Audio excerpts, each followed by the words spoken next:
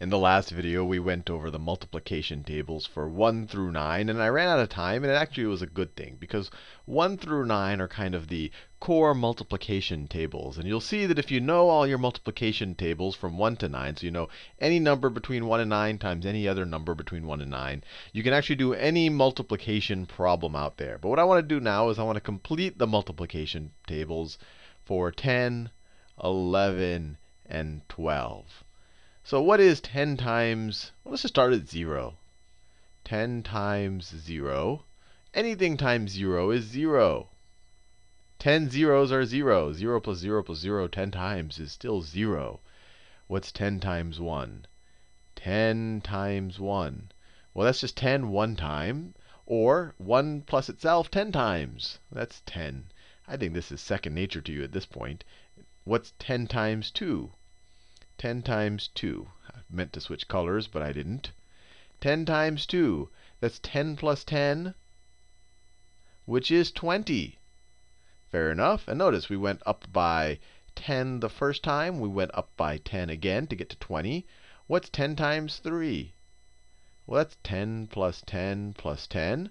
Or we could view it as 10 times 2 plus another 10, which is equal to 30.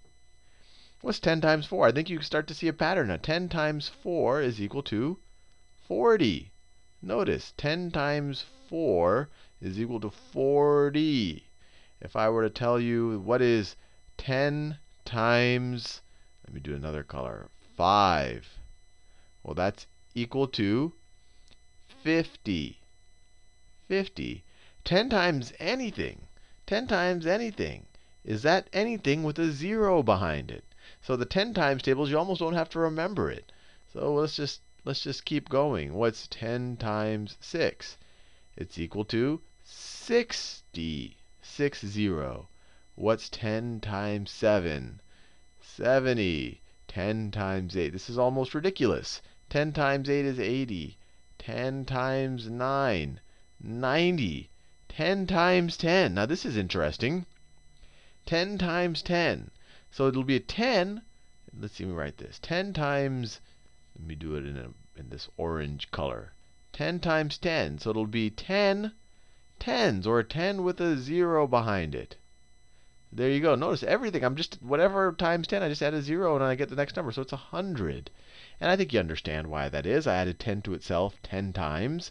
That each 10, you know, you go from 10, 20, 30. 30 is just 3 tens, or 10 times 3. 90 is just 9 tens, or 9 times 10. Let's keep going. So 10 times 11 is equal to 11 with a 0 behind it, 110. Finally, 10 times 12. 10 times 12 is equal to 120. Now, just, just for fun, these are your kind of your 10 times tables. But now that you know the pattern, you can do anything. If I asked you what 5,732 times 10 is, times 10, what's it going to be? It's going to be this number with just one more 0. So it's going to be, I won't read it out yet, 5732 with a 0 behind it. And just so you know, this little comma that I wrote in the number there, that's just to make it easier for me to read that number. So, and you put the comma, you start over here, and every third number you put the comma. So here, I'm going to put the comma right here. I'm going to put the comma right there. So now I can read this, because the, the comma doesn't really add or take anything away from the number. It just helps me read it.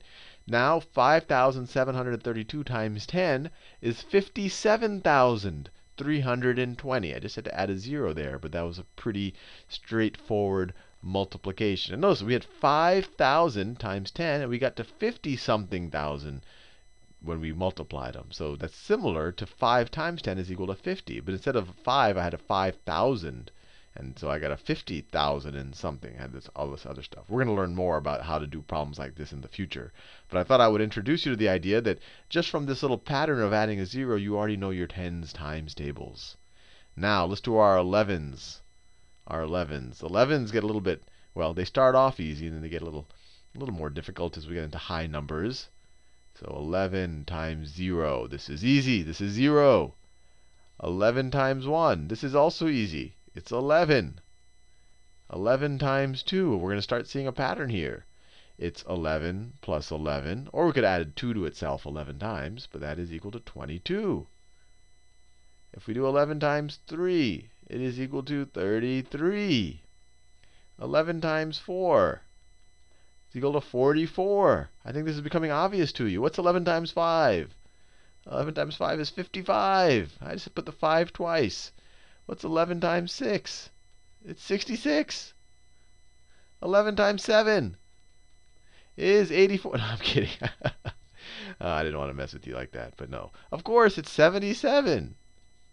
77. You just repeat the number twice. 77. Uh, let me switch colors. 11 times 8 is equal to 88. 11 times 9 is equal to 99. Now, what's 11 times 12? 11 times 12. You might, oh, sorry, I skipped 10. 11 times 10. You might want to say it's 10 to 10. No, that's wrong. It's not 10 to 10. It's like 99. It's not 10 to 10. So that little pattern that we had where you just repeat the number, that only worked for one digit numbers. It only worked for 1 through 9. 11 times 10, well, we could think about it a couple of ways. We can add 11 to 99. So we could say it's 99 plus 11. And what's that? That's equal to 110. And I'm going to show you how to do, well, hopefully you've already watched the video on how to add two-digit numbers like this, but that's 110. Or you could just use the property from the tens times tables that we learned, where if you just take 11 times 10, you add a 0 to the 11, you get 110. Right? That's the 11 right there. Finally, let's do 11 times 12. 11 times 12. No easy way to remember this. You just kind of should remember it. Or you could say, look, it's going to be 11 more than 11 times. Sorry, I keep skipping things. We should do 11 times 11 first. Let me make sure this is clear. We're doing 11 times 11 before we go to 11 times 12. So 11 times 11 is going to be 11 more than 11 times 10, right? So we add 11 to this. 11 plus 110 is 121. 121. And actually, as you'll see, there actually is an order as we get to higher multiples of 11, but I'll leave that to a future video. And then finally, we're at 11 times 12. 11 times 12. And we could add 11 to itself 12 times. We could add 12 to itself 11 times. Or we could just say, hey, this is going to be 11 more, 11 more than 11 times 11. So that is what? You add 11 to this. And what do you get? You get 132. 132. I just added 121 plus 11, and then got 132. Now the other way you could have said is, well, what's 10 times 12? 10 times 12, we already knew that. That was 120. So 11 times 12, because we're multiplying 12 by 1 more, should be 12 more than that. So that should be 132. So two ways to get the exact same answer. All right, now let's do our 12 times tables. 12 times tables. And if once you know this, you, you are ready to tackle any type of multiplication problem. We'll do that in future videos. So 12 times 0, super easy. 0, 12 times 1, also super easy, is 12. Now it gets interesting. We're going to increase by 12 every time. 12 times 2 is equal to 24. 12 plus 12 is 24, right? 12 times, not 22. Let me rewrite that. 12 times 3 is going to be 12 plus 12 plus 12. Or we could write that as 12 times 2. Now, why did I see my brain is doing the wrong things? We could rewrite that as 12 times 2 plus 12. Or we could rewrite that as 24 plus 12. Either way, all of these get us to 36. And that's, notice, that's just that plus 12. 12 times 4. 12 times 4 is equal to 48. And you, there's a lot of ways you could think about it. You could say 11 times 4 is 44. Right? 11 times 4 is equal to 44. And you could say that's, you go up by one more 4. So you get to 12 times 4. Or you could say 12 times 3 is 36. And you can add 112 to it to get to 48. Either way works. And that's because we can multiply in either direction. Let's keep going. 12 times 5 is equal to 60 right? 10 times 5 is 50. 11 times 5 is 55. So 12 times 5 is 60. 12 times 6 is equal to what? It's going to be 12 more than this. It's going to equal 72. 12 times 7, 12 more than this again.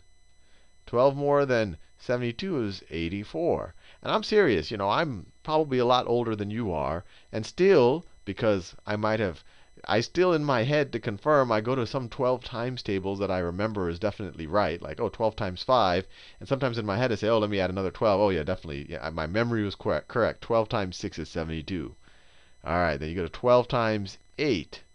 Add 12 to the 12 times 7, 96. 12 times 9, 12 times 9. Well, you add 12 to this, so it's 108. 108. And then 12 times 10. This is an easy one, right? We just add a 0 to the 12, you get 120. Or we could add a 12 to 108, either way. 12 times 11. 12 times 11, we just did this. You add 12 to this, you get to 132. And then 12 times 12 is equal to 144. And this actually shows up. If I had a dozen of dozen eggs, a dozen is 12. Or if I had a, I think a gross is actually 12 dozen, so that's 144 eggs. So you'll actually end up seeing this number a lot, more than you would expect in life. But anyway, we've now completed all of our all of our multiplication tables. And I really encourage you to take the time now to go and memorize them. Make some flashcards. Use it's use the, the little software thing that I wrote on my website. You could try that out. Uh, as as of September 2009, it's it's working. I haven't touched it in a while, but I'm gonna I'm actually probably gonna rebuild it soon. So if you're watching this video in the year 2200, well, I would have probably not exist anymore, but hopefully you'll get a better version of the software app. But you should practice it. You should get your parents to quiz you. You should get quiz note cards. You should just be mumbling to yourself as you walk to school. What is 12 times 9? What is 11 times 11? And you should quiz each other because it'll pay huge rewards to you later on in life. See you in the next video.